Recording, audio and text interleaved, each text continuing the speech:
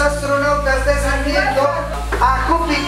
Los espacios adecuados se conciben como la posibilidad de generar nuevos escenarios, nuevos lugares, nuevos ambientes, donde los niños de primera infancia puedan estar con sus familias, con sus papás, sus cuidadores, con sus maestras, en un ambiente adecuado, seguro y además que tenga un componente estético y artístico en la forma en la que se dispone.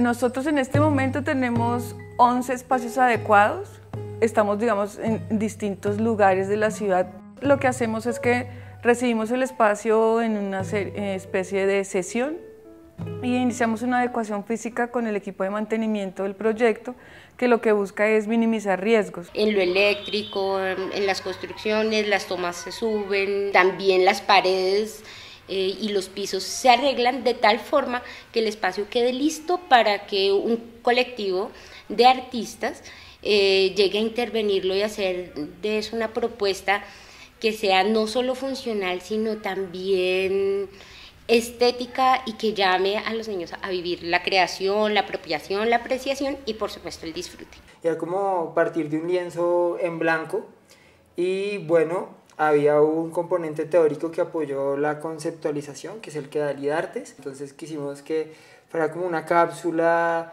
que fuera cálido, pero también que fuera un poco neutro, que no fuera muy pesado, que se pudiera seguir interviniendo. Y eso ha permitido que el espacio sea como muy flexible de transformar, de adecuar, de, de, de cambiar, de poner, de quitar. Y los niños sientan que llegan a otro lado, a otro mundo.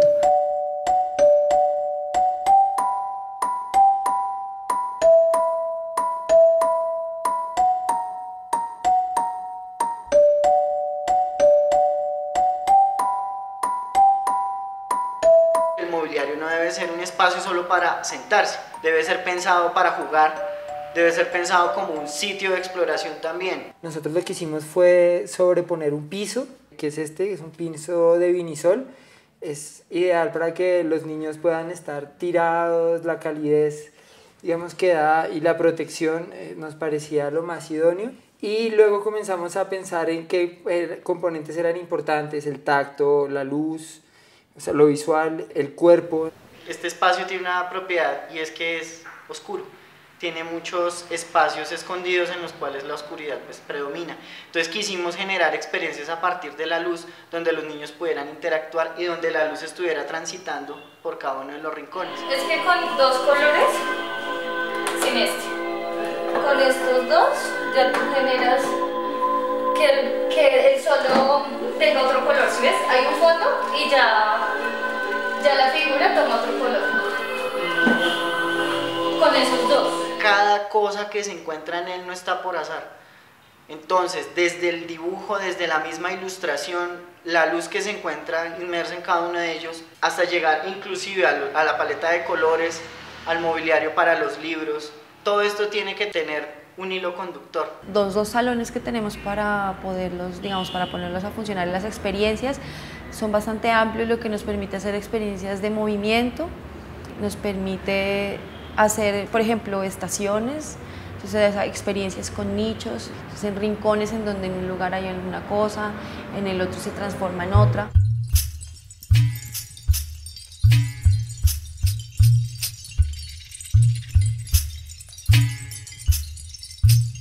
Particularmente en espacios adecuados nosotros atendemos a toda la población que existe en la ciudad que tiene que ver con la primera infancia. ¿Esto qué significa? Que puede llegar la mamá con el niño al espacio adecuado y será recibida. Puede llegar el jardín infantil con el grupo completo de niños, con las maestras y también recibirán experiencia artística y también puede llegar un grupo de ámbito familiar que son las mamás que se reúnen con sus niños con eh, la Secretaría de Integración Social y con el IDARTES y realizan unos grupos de trabajo y ellas también son recibidas. La experiencia nosotros la estamos empezando desde el momento en que ingresan al clan, entonces hay como una expectativa por los pasillos que se convierten también en mundos posibles. No entramos de una a empezar como tal el desarrollo de la experiencia, sino que permitimos un espacio de reconocimiento en donde ellos observan, huelen, tocan, Y pues ahí es sorpresa, es sorpresa, es curiosidad, es como impacto. Como no hay tantos objetos eh, por ahí para jugar, entonces empiezan ellos mismos a maquinar eh, pues, cómo poder jugar con este espacio.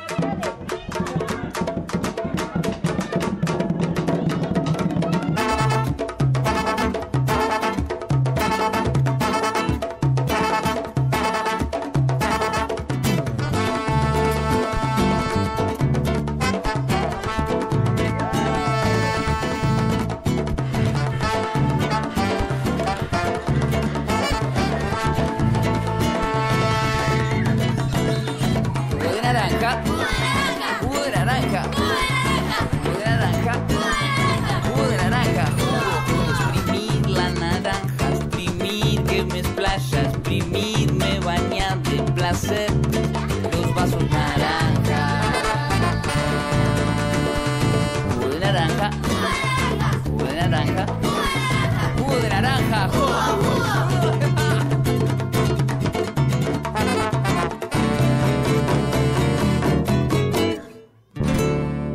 Las experiencias que hacen los guías y los monitores están todo el tiempo variando y complementándose a partir de lo que los niños hacen dentro de la experiencia. Cada persona y cada niño se mete a nuestras, a nuestras experiencias a la velocidad que quiere y hace técnicamente pues, lo que quiere, pues orientado con los materiales que nosotros queremos.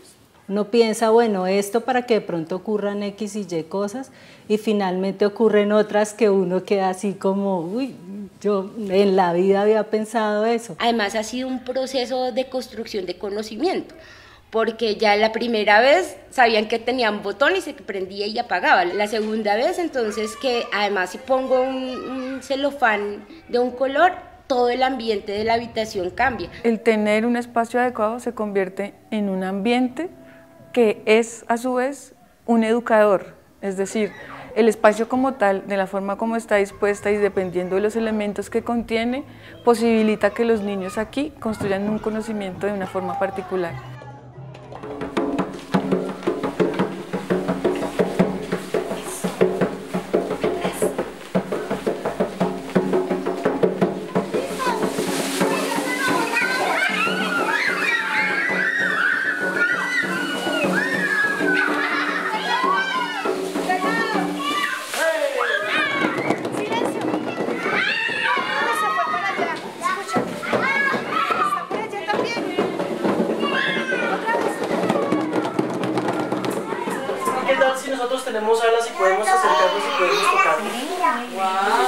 Uno se da cuenta que hay pequeños cambios en los bebés y en las mamás, como, como esas sonrisas, y siente como, como que una, el ambiente de la infancia empieza a cambiar de algún modo, como esos paradigmas empiezan a romper. Los niños y las mamás tienen la oportunidad por vez primera de experimentar en carne propia un montón de sensaciones que antes eran tabú. La idea es que ella también o él también pueda tocarnos. Les vamos a pasar un poquito. Y bueno, y no sé, para que hagan un masaje.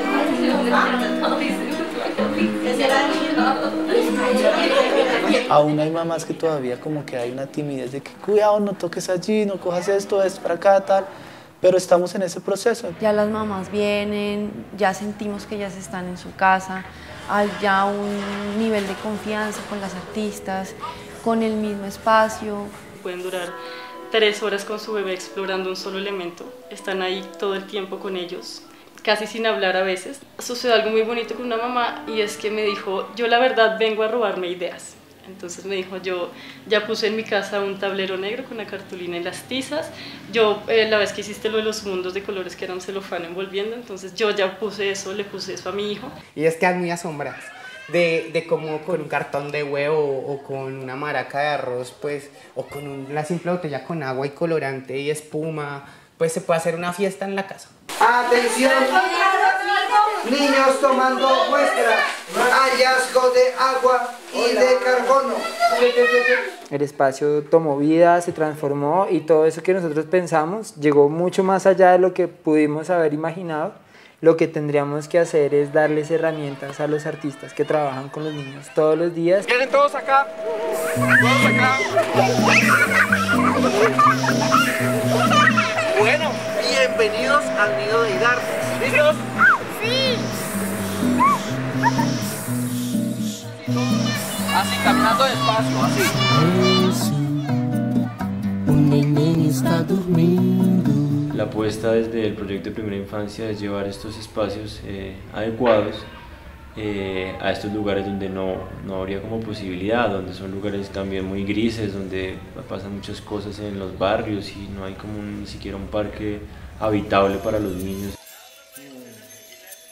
La expectativa del proyecto Tejedores de Vida es adecuar al menos 40 espacios más en los próximos dos años, básicamente porque hemos ya identificado la gran aceptación que han tenido tanto en los niños de primera infancia, en los bebés, en los niños menores de 5 años, como en sus madres, en las madres gestantes, en sus familias y obviamente también en las instituciones eh, de carácter educativo que los, que los atienden. Una ciudad que piensan los niños, piensan todos.